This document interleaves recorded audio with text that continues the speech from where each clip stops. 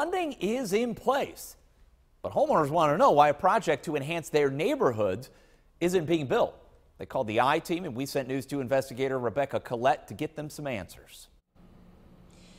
The project that homeowners called me about would come off of Tanner Ford Boulevard, which is right here behind me, and then come all the way down an easement here to my left, all the way to where the proposed new school is.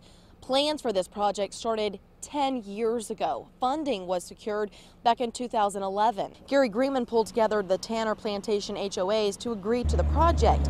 And with everyone on board, he wants an explanation why the project is still non-existent.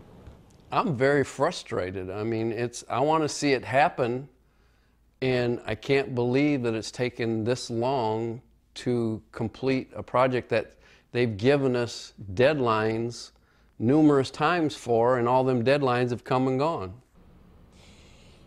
Tonight, I'm breaking down all the reasons why this project has been so delayed. Plus, I'm also mapping other projects I found across the low country that have faced similar delays, even though they're already funded. In Hanahan, Rebecca Collette, News 2.